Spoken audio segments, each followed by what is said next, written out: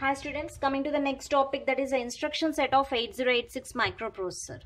So actually the 8086 microprocessor unit supports total 8 types of instructions. So first one is data transfer instruction.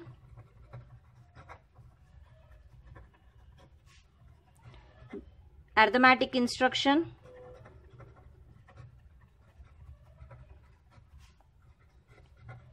Bit manipulation instruction.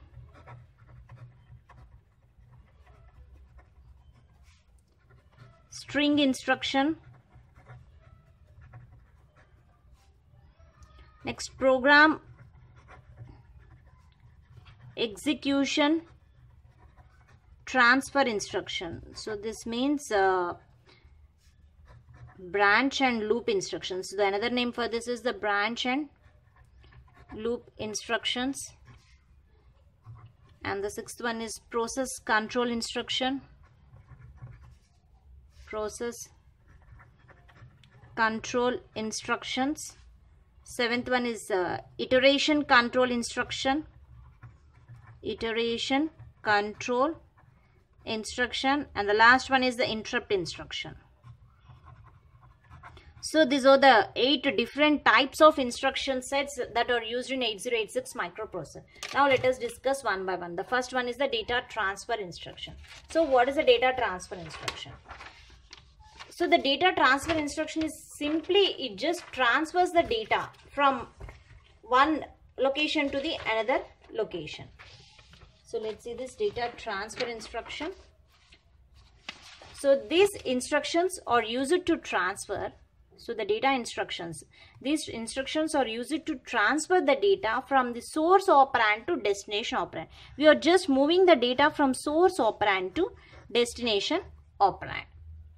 So let us see the different following uh, list of instructions. Instruction to transfer a word.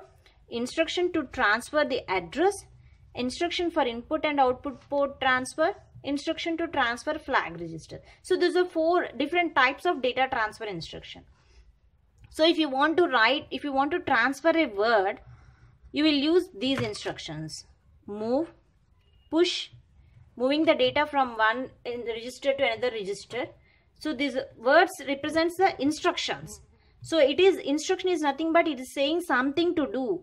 So what it has to do this op code the opcode itself you call it as an instruction. Operation has to be performed. What type of operation has to be performed on the operands? On the values what type of from source operand and destination operand what type of operation has to be performed that will be indicated by the instructions. Move push pop exchange these are all the types of instruction transfer a word instruction to transfer the address. If you want to transfer the address you have to use load effective load uh, load uh, ds and load es next instruction for input and output ports. So input and output if you want to transfer the data from if you want to take the data from input to the uh, processor in instruction.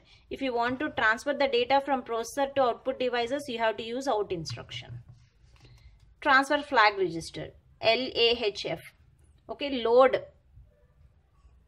AH register contains the value, so that should be AL, LAH flag, store AH flag, push flag, and the pop flag. Now coming to the second instruction. So the second type of instruction is arithmetic instruction. So this arithmetic instruction will do all the arithmetic operations, logical operation. So arithmetic instruction, these instructions are used to perform arithmetic operations like additions, subtractions, multiplications, divisions, everything. Okay. So the different types of instructions are instruction to perform addition. If you want to perform an addition, you have to do uh, use the instructions add, add with carry, increment, ASCII adjust after addition.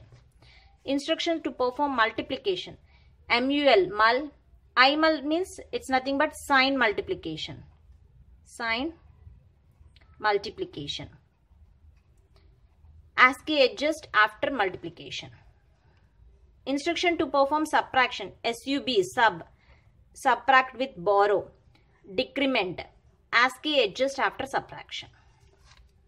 instruction to perform division div signed div idiv means signed div ascii adjust after division so these are the different arithmetic instructions so now coming to the third type of instruction the third type of uh, instruction is the bit manipulation instruction so what is the use of bit manipulation instruction these instructions are used to perform operation where data bits are involved in operation. Means only a single bit has to be. You have to perform the operation on a single bit. These instructions are used to perform operation where data bits are involved. That is operations like logical shift. So means we are doing the operations only on the bit manipulations. Only on single bit. Logical or for shift operation we go for bit manipulation. So the different types of bit manipulation instructions are instruction to perform logical operations. Logical operations are NOT and XOR test. And instruction to perform shift operations. Shift left, shift arithmetic left. Shift right, shift arithmetic right. And instruction to perform rotate operations. Rotate left, rotate right, rotate carry uh, right with carry, rotate left with carry.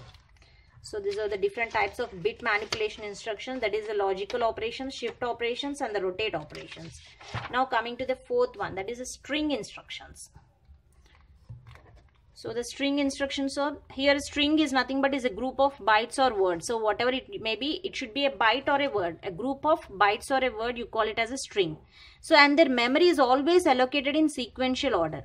So the different types of string instructions are repeat, repeat equal, repeat zero repeat not equal repeat not zero move string move string byte move string word compare string compare string byte compare string word increment string increment string byte increment uh, sorry input string input string byte input string word.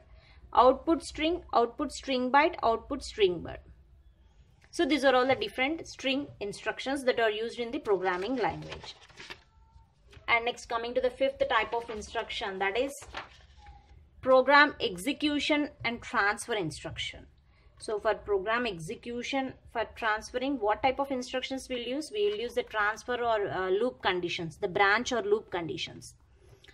So these instructions are used to transfer or branch the instruction during an execution. Means the, the controller will jump from one location to the another location and it uh, transfer from data from one location to another location. It includes the following instruction instruction to transfer the instruction during an execution with without any condition. So if if a no condition is mentioned those type of instructions are call. You're just writing call. What do you call? No you didn't mention any condition. Just you are calling. Call. Return. Jump and means without uh, it jump to particular location return to particular call to uh, call the data from location that's it. It doesn't satisfy it doesn't want to satisfy any condition. But the instruction to transfer the instruction during execution with some conditions. If some conditions to status mean jump if carry okay? If uh, carry is there then only you have to jump. Otherwise you have to continue with the program. Jump if equal. Jump if zero jump if not ca no carry. Jump if uh, the sign bit is there. Jump if overflow condition is occur. Okay? So these are the different program execution transfer instructions. Now coming to the next process control instruction. So the processor control instructions are used to control the processor action by setting or resetting the flag values. Just when you control the processor when you control so whenever some setting and resetting the flag values then only you can control the processor. How you can control the processor? By using these instructions. Stc use it to set carry flag. Clc use it to clear or reset the carry flag. Smc cmc uh, CLC is a clear carry flag. CMC is used to put complement at the state of carry flag. STD. Set the direction flag DF to 1. Clear the direction flag DF to 0. Set the interrupt flag means it is enabling the interrupt input. Set means it's enabling. CLI disabling the interrupt input. CLI means disabling interrupt input and uh, STA means enable interrupt input. So these are the different processor control instructions. And the next one is iteration control instruction so you're just controlling the iterations the loops you are controlling. These instructions are used to execute the given instruction for number of times. When iteration means the name itself is saying it has to perform number of operations the iterations. So number of times the given instruction has to be executed. So following is the list of instruction under this group. Loop use it to loop a group of instruction until the condition satisfied. What condition? Until the count becomes zero. Whenever the count becomes zero then only uh, up to that you have to continue the loop. Loop if uh, loop if equal or loop if zero. Use it to loop a group of instruction till it's satisfied.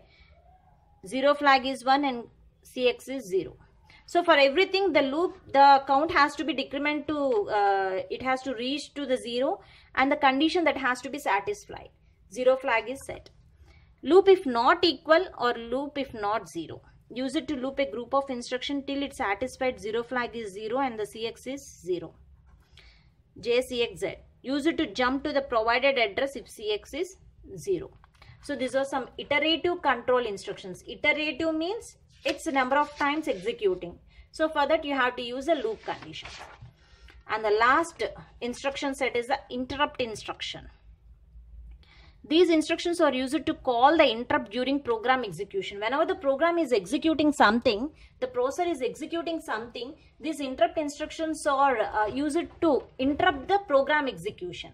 So INT, use it to interrupt the program during execution and calling the service specified.